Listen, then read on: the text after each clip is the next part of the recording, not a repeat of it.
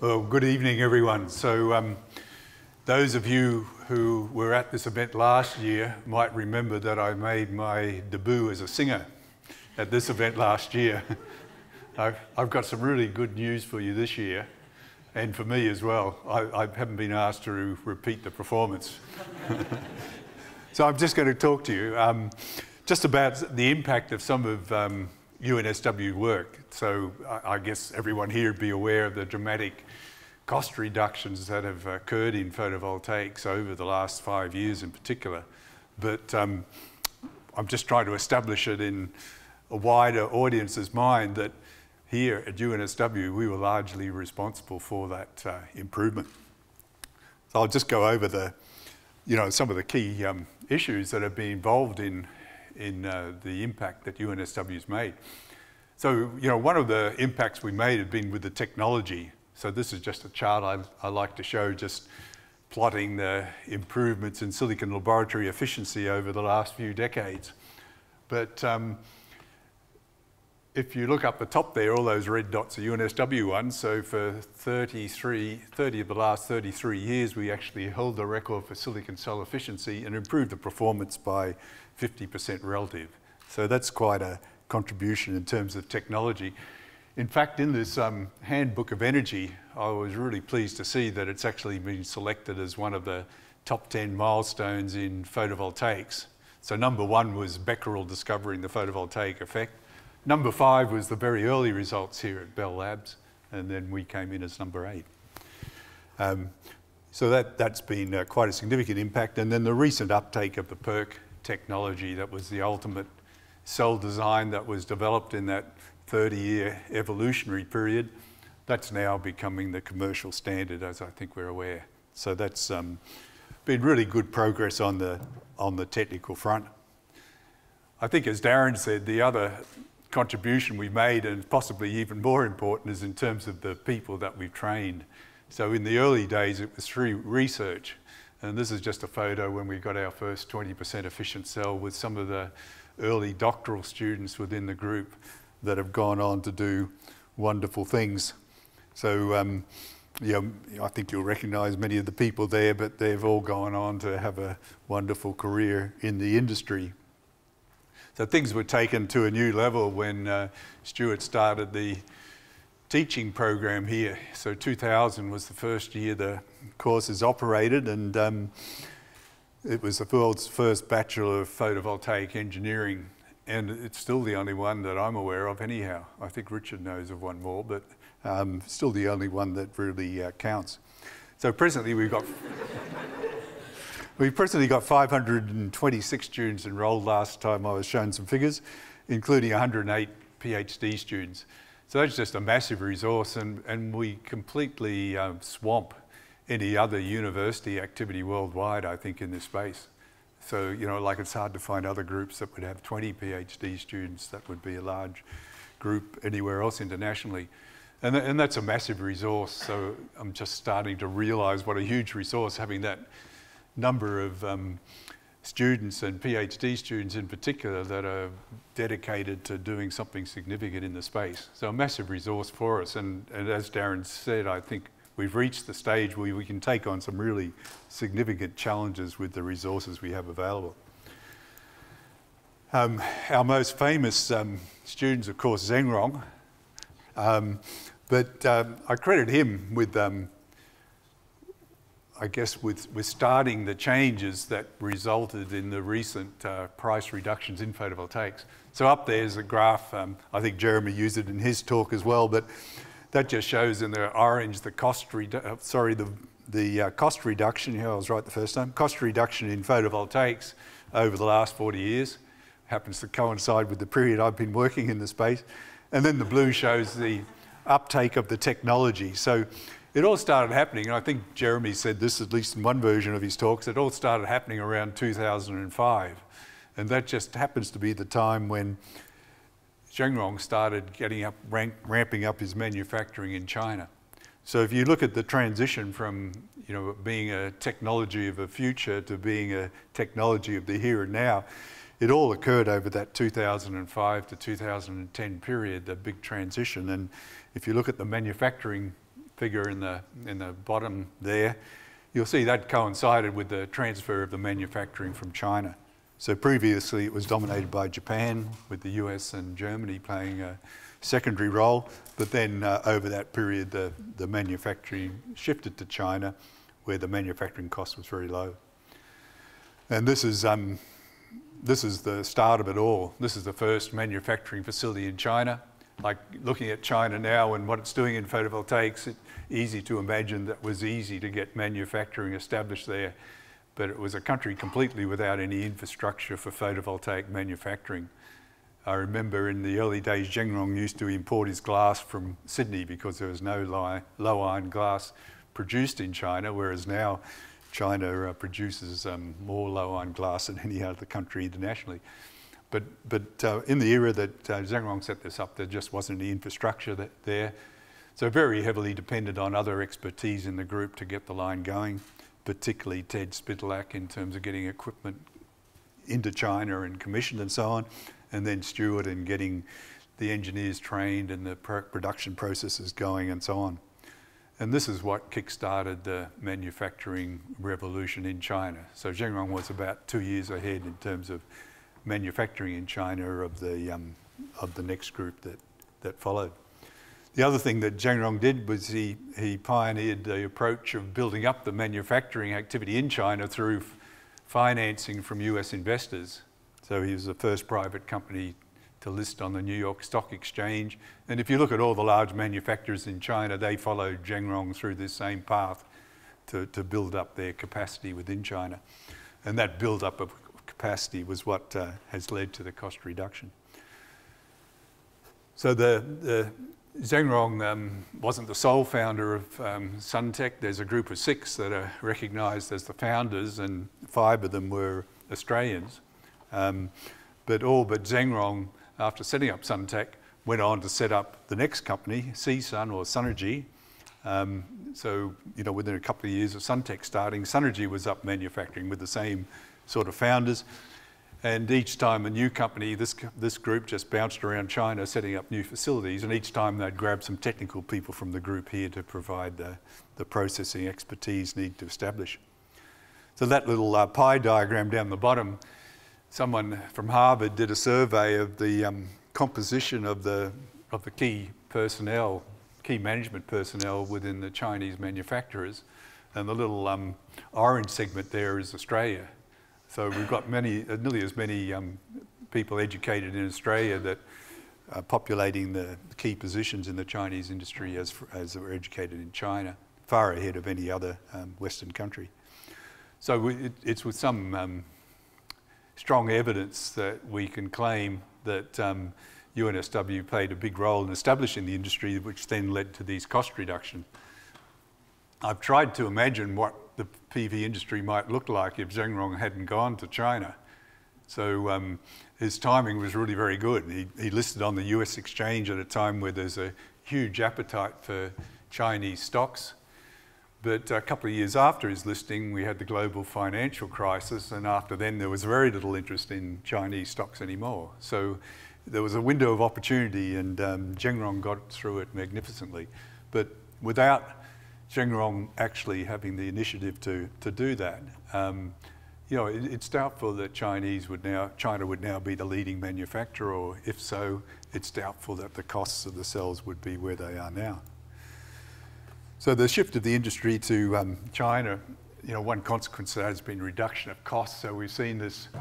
So in June 2008, the average selling price of PV modules was $4.18 US a watt. This is like the wholesale volume price. But uh, last month it dropped below 40 cents per watt. So, so really there has been a factor of 10 reduction in photovoltaic costs over, over an eight year period, which is really quite dramatic. And again, we can trace that back to Zhengrong's initiative and then to UNSW through the training and support that he received from here. At the system level, we're seeing some really big impacts, you know, particularly over the last year. So this just shows systems going in different places of the world, what the, these are power purchase agreements, whereby a company agrees to supply the power developed by the um, uh, PV system to a, to a buyer, at a, at a guaranteed rate over a guaranteed period, generally 20 years. But these are just some of the prices that have been agreed over the last couple of years. And the um, orange line at the top shows the PV prices. So they're reducing from about 120 US dollars a megawatt hour. And to most recently, particularly over the last year, the prices have really dropped quite dramatically. And the most recent bid was 24 US dollars a megawatt hour which is lower in cost than possible than you could have bid with any other electricity generation technology.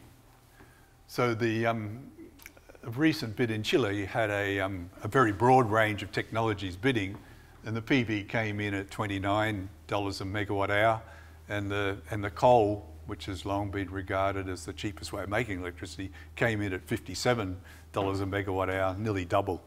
So really um, some big changes occurring in the industry and rapidly increasing recognition. So not, not everyone's aware of this sudden transition and reduction in costs.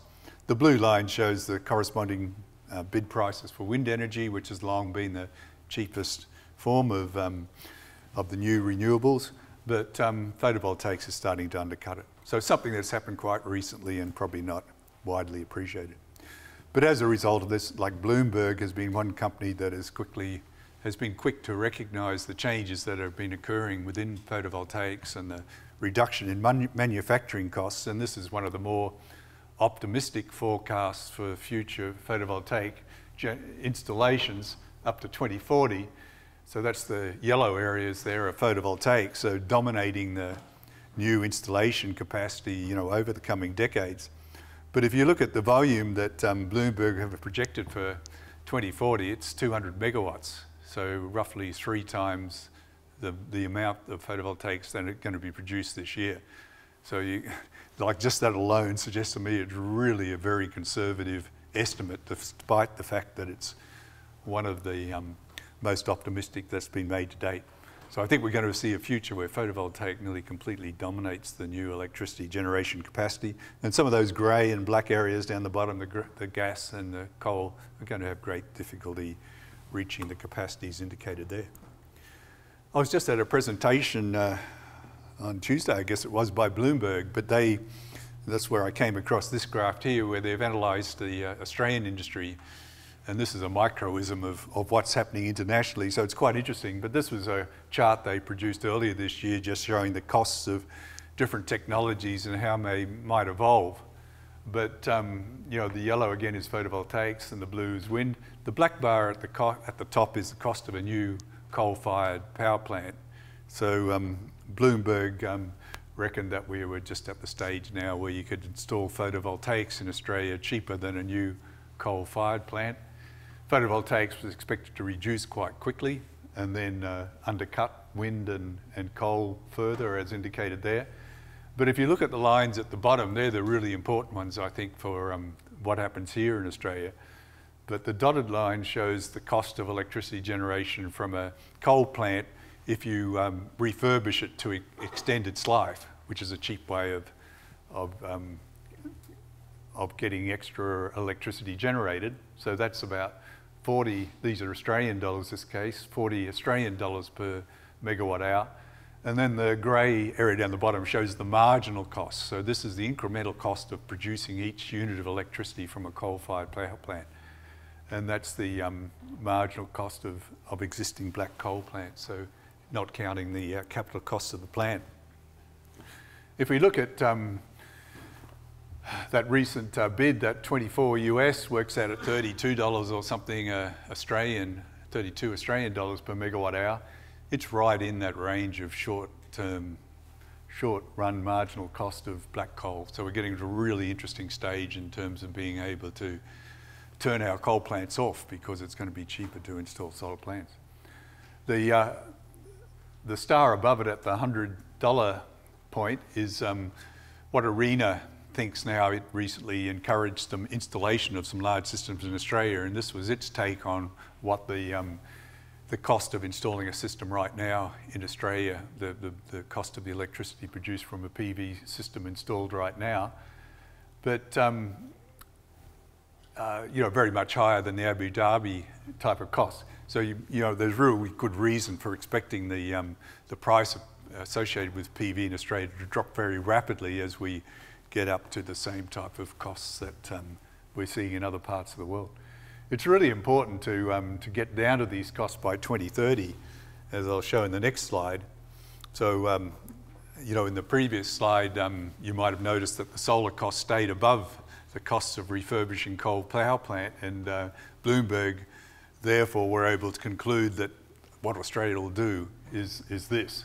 We'll, um, our, as our coal fleet retires, we'll spend money on refurbishing them because it's going to be cheaper than the solar option. But if we can get down to the that incremental cost of coal or the refurbishing cost with refurbished plant, um, this is not going to happen. So for, for Australia to um, cut back its CO2 emissions, I think it's really important that we get rid of our coal plants as quickly as we can. So we need to bring down the photovoltaics cost really quickly to, um, to prevent this type of um, occurrence shown here, extension of the life of, life of our existing plant. If we look at the world um, globally, you know, I think the problem is even more serious. So that this is um, annual CO2 emissions, gigatons per year. And the, the black line at the top shows, you know, what's been happening. So we've been going up very rapidly. But the, um, the extension of that line shows what we need to do if we're going to restrict global temperature rises to two, two degrees. And you can see um, here from the bottom, you know, this is what is likely to happen in several of the big emitters. So um, you can see a problem looming over the next uh, 10, 15 years in that if we only count the four biggest emitters, we're going to already bump into this line of um, that we need to meet to, to, to keep, get CO2 emissions under control. Um, so even the four big emitters, without allowing the rest of the world, including Australia, we, we bump into the allowable budget for CO2 emissions. And uh, the really disturbing thing is there's big plants, big plans for many more coal plants to go in different parts of the world. The blue regions there are the countries that have the plans for the largest installation. But we have about 1,900 gigawatts of coal-fired plants worldwide now, which are producing most of our CO2 emissions. There's another 1,300 gigawatts in the planning stages, approved, planned or whatever, that are very well documented plants. And this is where they're all going. Um, these, these are some of the countries involved, some of the, so many in the Asian region. So Bloomberg showed this slide here. So outside of Asia, it's expected that this is showing coal, expected coal cons consumption um, outside Australia, outside Asia on, um, on your left, and then in Asia on the right. So even though worldwide we're expected to see a slight falling off in the use of coal, that's going to be more than compensated by the, um, by the increased uptake in Australia.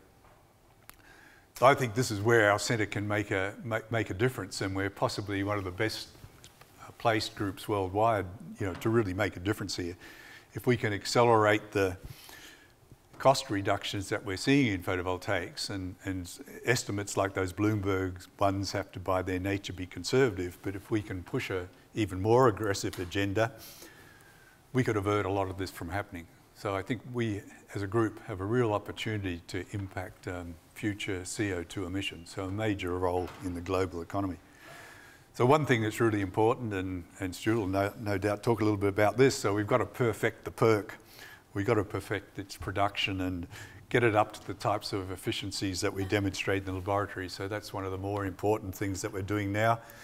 And the other thing I think really important, if we can develop a pipeline of technology with further cost reduction potential, and this is where I think tandem cells come in and Darren mentioned um, the work that uh, Xiaojing and uh, Anita have been doing in improving efficiencies, but part of the reason that we're interested in these other materials is that they're suitable for stacking on top of silicon as tandem structures. So we need to push on with that. But as Darren said, our, our most valuable resource is our past students. So we look forward to your future contributions and to making, allowing the PV group to continue to make impact at, at the global scale. Thanks very much.